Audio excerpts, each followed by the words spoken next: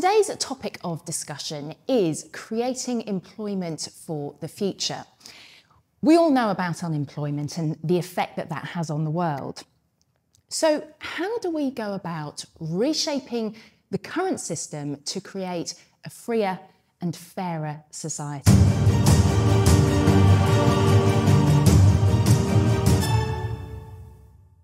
Phillip, I do want to bring it back to measures a little bit later on because it's obviously really important. But I feel there's more to go with this. And Benita, I just want you to, to sort of come back with your thoughts about what Phillip's just been saying. Yeah, I mean, I, I absolutely agree that uh, at the heart of a business purpose, traditional businesses are about profit. And to me, therein lies the problem. You agree with that? I agree, I agree with you that uh, the, currently a, a, the purpose of a business, of a traditional business, yeah is to create profit. And you agree there's a problem? And I that? agree there's a problem with Wonderful. that. Absolutely agree. However, what needs to happen is that we have these new kinds of structures where businesses have a legal requirement to deliver on profit, on environmental value, and social value. And that's why the, the whole notion of these models, these responsible business models, such as the B Corp, and there are other models as well, where those are fundamentally embedded in the business structure, in the legal structure of, the, of that business. So you see now, you know, many of these social enterprises, social businesses, but also other businesses that are starting to look at this whole question of responsibility to society and to the planet. So I agree that traditionally that's where we've been and that has been the purpose of a business. However, that needs to shift and already is shifting.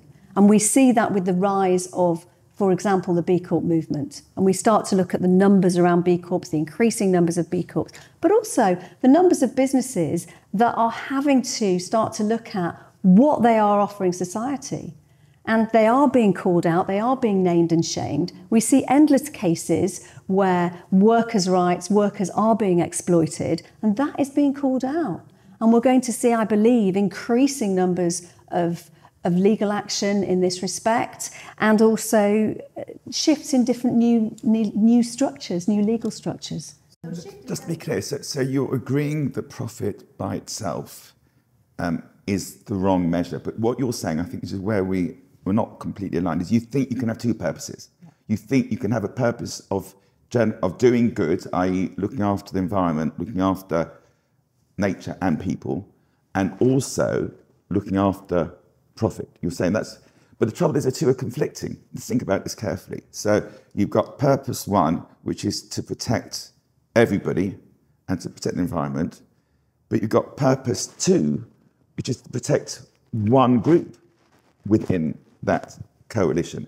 How can you have two completely different misaligned views? You can't do both. You can't look after everybody and nature as one purpose and then have another purpose which is only can you not see there's a conflict? The reason I don't believe there's a conflict is I would say I would argue that as a mother, every day I'm embedding those three principles of people, planet, and profit into my household because I need to make money and run a household that is we are able to be financially sustainable. I also need to be able to make a positive contribution to my look after my children and make sure that they have their needs are met in terms of the love that they need to receive and so on. And then, thirdly, to respect the community and the environment in which we live. And I don't see that I have to make a decision that I'm only going to fulfill one of those obligations. And in the same way, a business also is able to fulfill all three. Why are they at odds? In life, we don't only decide that we are going to do one thing or be one thing or have one kind of obligation. We make those choices every single day. And we can be several different uh, things to several different people all the time. We do this. We do this on a daily basis. It's, a, it's well, an interesting argument. It's so. interesting, but I hear what you're saying. But but when you're running a household, you're not running a P and L. it's not running a business. I, have I've run many businesses. Um, a household is you're meeting the needs of the kids, your husband, your children, um, and that's your purpose. You want everybody, and, and of course, you want to care for the planet at the same time. Uh, and that is not the same as you having a P&L. That what would be the equivalent is I'm going to have a P&L, so I'm going to therefore say um, my family is going to make a million pounds this year, um, and, and, I'm going to um, use that to, to, to, to, to buy umpteen houses and to whatever, whatever it is to, to, to, to, to build a swimming pool, that kind of stuff. Um, whereas um, what we should be doing, you make different decisions. The, the best way of me explaining it is the groups can't be the same. If you've got three different groups or five different groups and you're thinking about all of them, you can't just think about one. It's just, it's fundamentally different. You can't think about both. Um, I, I, tried to do it in business. I've actually tried this. This is something I've, I've worked out in personal experience. Um, you can't do it because the business world is about the shareholders. And therefore, if you don't, uh, interestingly, I, I, was at a meeting again last night, which comes to mind, and, and they wanted to be environmentally friendly. This is a, a CLA, which is a, um, an organization that invests funds for, for, for uh, largely uh, religious organizations in, a, in an ethical and moral way. So they decided, I think in 2019, um, to, in, to, to move out of fossil fuels. Any company involved in fossil fuels, they were going to move out of to be to look after the environment.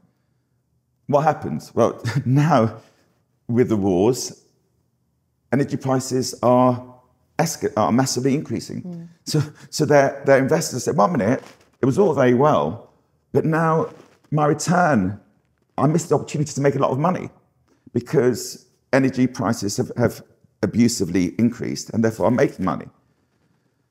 The problem there, and, and therefore he doesn't know where to go because, because you've got two different purposes. His, if your purpose is to look after the environment, it doesn't matter what it does to the share price because his purpose is to look after the environment. Mm. But because the people who are the shareholders only really care about their share price, they didn't really buy into his purpose of the environment. It was just trying to make more money. But when you make more money by actually buying the energy companies, they said, why haven't you bought the energy companies? It's just, it's exactly same. You can't have two misaligned purposes. You can only have one purpose. And I would absolutely disagree with that. And the reason I disagree with that is because as I say, every single day we're making those choices. And we don't only deliver on one aspect of, of life or indeed in business.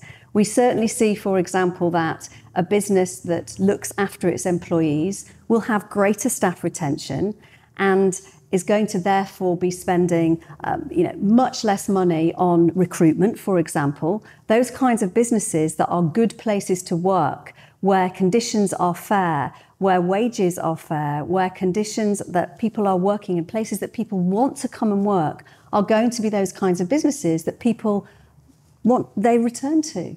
And so you have higher staff retention, for example, those companies that are kinder, nicer places to work. Again, young people, we've got to factor young people into this equation because we know that unemployment affects young people hugely. One in four young people globally are unemployed.